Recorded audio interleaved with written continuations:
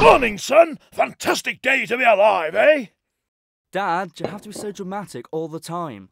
Son, we're not very alike, are we? Not really, no. It's about time that changed. Come on, I'll teach you how to grow a beard. Sit down. Dad, I'm pretty sure you can't learn how to grow a beard. Of course you can. It's all about willpower. Watch.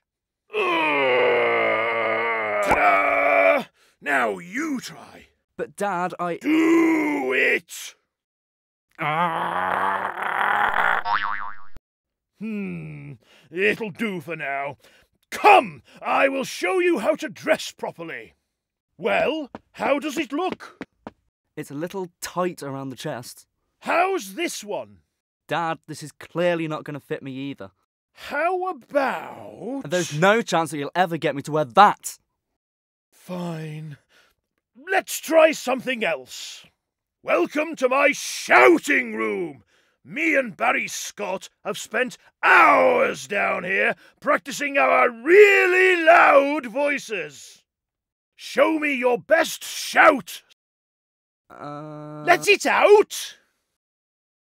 Ah! Pathetic! It must be your feeble little lungs. Maybe we. Um... Stop it! Stop it! Stop it! I'm not like you. I never have been. I never will be. I'm not going to walk around going, I'm Brian Blessed and I'm a marvellous actor. I'm not you, so just leave me alone.